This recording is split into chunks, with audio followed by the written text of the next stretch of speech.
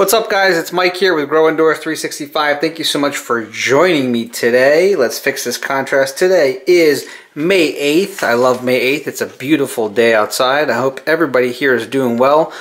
Again, once again, I am a little late on the uh, videos, but again, I wanted to have some stuff to actually uh, to show you. There's been a, a huge transition, as you can see, in the entire tent. Also, right here, no more tent. Remember, there was a tent there? Well, that didn't work out, and uh, it was more of an annoyance than actually helping me in any which way. As you can see here, I kind of moving things around. I got all my uh, all my tubs cleaned up. I mean, God it was such a mess in some of the latest videos here. Um, cleaning it was a pain. I literally, uh, one of these days, I'm going to, I'm going to show you guys. Let me actually turn this camera around. I have no idea how this is going to look. I really have no idea how this is going to look. But uh, one of these days, I'm literally going to show you guys what I have to do to clean the the inside of the tent it's not fun. Okay, it's not fun at all. It's actually it's so hectic. God, talking to the camera is pretty difficult like this. I don't even know what it looks. I'm it's so confusing. Um, let me just do POV POV view for now. Um, if if anything down the line, I could switch it back. Uh, so confused what I want to do here. I mean, I have all this lettuce. This is all about to get transitioned into the tubs today. Okay, that's why I have some of the tubs here. I also have some. Uh, I also have some other lettuce that's about to happen. I got some basil that's about to happen. It's summertime. We got the tomatoes. We got, I need that fresh basil. I want to do, you know, fresh tomato mozzarella and the basil. Oh my God. That is literally a, that's incredible. I'm like super stoked. Um, probably is a good time to germinate right now um, some watermelon because I want to plant it uh, probably outside at my parents' house, uh, down the shore. I've been thinking about plant. What what can I plant out here? Uh, this is my backyard. Now I could plant a bunch of stuff, but God knows what happens. You know, from God, the windows are kind of dirty. This is the back window where all the craziness happens.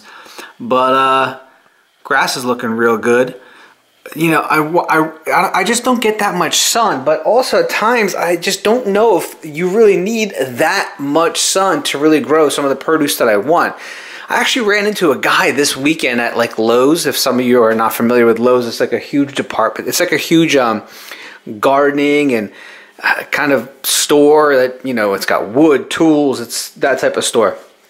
And he, he buys just like a regular tomato plant, he buys two of them, puts them into his actual ground, and it's like uh, it's you know it goes it's good one year and that's it. He just takes them out of the uh, I think that's perennials. Um, he he takes them out of the he puts them in the ground. They grow. He gets tomatoes. He loves it. They kind of like you know grow around his trellis. And then after that, he just throws them out after they're done, which I think is amazing. And I kind of want to do that, but I can't. I, there's no way that I could do that to my grass. I mean, you guys don't understand what I had to do to this grass to get it like this. When I moved into this house approximately six years ago, the entire backyard was covered in wood chip. All right, so here is what I got here. Some beautiful lettuce. Ah, it's looking beautiful. It's looking real good. Got some really nice roots going on. So, but going back to uh, the outside, I can't. Be, I can't be putting any vegetables in the ground. It's just too crazy man, the roots are growing real well. This is probably a few days behind of having to be put into um, into uh, the water. You know what actually needs to happen here? Everything was getting washed recently. Ugh, washing this stuff is like the biggest headache. That's one of the biggest downfalls of truly maintaining your own grow. It's my little uh, stash box. This is where I keep a ton of stuff. Got your little uh, got your little plugs that that that hold the um, aerator Got an old uh, air pump. I might have to do a raffle on this air pump just to kind of like give it away. I'll never use it again because it's just not satisfactory to my type of grow. Take this chopstick. I kind of, you see how this guy, he outgrew, he like kind of grew a little too high. So what I do is I, as you, just let me get a little closer. As you can see, in situations like this, what you want to do is gently. I mean, unfortunately, you could do a lot more damage than good by doing it this way, but there's really no other way. And I kind of just gently push it down, hoping to, um, hoping to just get it in there. Now, I don't know what's going to happen. Honestly, did I just, nope. There's not much you can do. You, just, he's just falling over. But I'll tell you this, as soon as uh, the oxygen starts coming, as soon as that, oh my god, look at this root system. That's what I'm saying. These are, these are a little late on being transitioned. That's why they have to immediately get transitioned into the water. You won't believe it, and I probably in like three days, the entire, all of the roots will settle right through the rock wool and everything. I'm making a habit actually. I wanted to show you guys what I'm actually doing now. I really want to make one of those uh, drip systems because those are so much. Um, they're just they're they're just really good. They're really good for saving water as well as allowing that root to hit the bottom. You know, before I would take this net pod, fill it with just a little bit of rock, and this will give it. You know, the reason why we use the clay pebbles, okay, the um, the clay pebbles, the hydrotone, we use that so that it stabilizes this, which is our growing medium. Okay, so let me just, oh my god, look at what in the world? That is crazy. Look at this root system. These are so, these are just a little too old. Now, I used to um, put some rock down at the bottom, but I also, of course, we put rock around the sides. So in this case, you know, what I found best is when this is sitting in here, and that this bottom base could actually touch the water, that means this entire bottom okay, it starts soaking up the water. That is so important. This growing medium, okay, this growing medium right here starts to absorb water much faster and then the root system just kind of goes down through the net pod really, really fast, which is exactly what you want because you need that root to touch the water. That's why when I was talking about the drip systems, taking a PVC pipe and it just kind of goes along and you have your pods like this. And as soon as you, you don't even have to do anything. So when, when all you got to do is take your growing medium just like this with the roots already going, you put it inside of some sort of net pod, but it, or somehow you position it where the roots will basically sit along a stream of water and consistently have a flowing amount of water hitting that root system with the proper amount of nutrients. It's a very nice, actually, it's called a flow system. It's not a drip system. It's a flow system. It's really nice. My head's not where it's supposed to be today, but I just wanted to give you guys a quick glimpse inside the tent. I'm to, uh, I found some really cool stuff. Uh, some, uh, some kind of, um, a few systems that I think would be useful for some amateurs that are, you know, if this is your first time finding a video of one of mine, uh, I just want to introduce myself. My name is Michael. I am an indoor gardener. I do primarily hydroponics. Uh, down below, make sure to hit the like button. Make sure to give me the thumbs up. And make sure to subscribe because this way we get notifications every single time I upload a video. You got to hit that bell because when you subscribe down at the bottom, you got to hit the bell also. That will turn on the notification and only when I upload a video, you will be notified in regards to that. And also all the stuff that I use to maintain my entire grow is all at the bottom. So make sure to hit those links and check it out because I want you growing like me. Guys, please support me on the Facebook.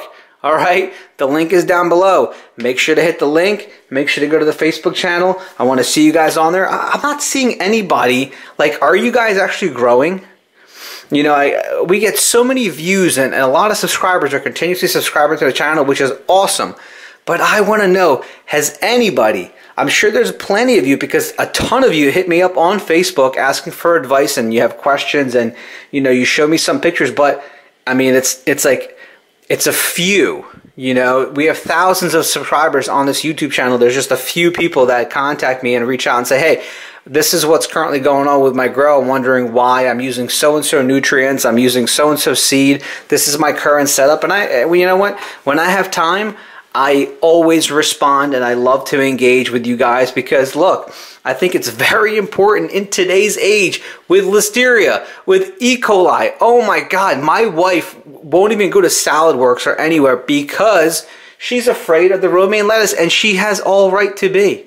Okay, I'm also afraid of it. I haven't eaten romaine lettuce in a minute. I'm using, I'm doing, I'm primarily eating like spring mixed greens because all this craziness that's going on um, around the country around lettuce. And it's just, it's not even just lettuce. It's just not even just romaine lettuce. It's food in general. It's the way that things are grown. It's, it's how long they take to travel. It's how many times they've been frozen. It's getting crazy. You need to learn. Okay, if there is a few a few things. I'm not saying this is the most important thing, but let me tell you, when things go crazy in the world and one of the most important things is food, you're going to probably want to know how to grow your own food, how to grow your own lettuce, how to maintain a grow like this because the more I think about it, with some sort of solar or a turbine, listen, I don't know the details of it, but I'm sure there's ways to power something like this to maintain a grow system. Okay, I'm not sure about how to get the proper water, uh, but there's definitely things around certain things that you could figure out. But listen, this isn't a survival guide. All I'm saying is it's really cool and awesome to be able to grow your own veg, beautiful lettuce, come over here and snip it for dinner and have it. But also, God knows, God forbid, anything happens in the world. Uh, you, you know, you're, you'd be like the brain surgeon knowing, you know, it's like equivalent to a brain surgeon if you knew how to grow food you'd be that guy. You'd probably have a crown and maybe a large seat to sit on because you'd be like the king of the town because you'd be the guru of knowing how to grow food. You know, this this stuff, this is a little bit of lettuce. I mean, I can go through this quick, but it's all about continuously replicating and doing more. Just like in past videos that I showed you guys how I replicated a single basil plant into two.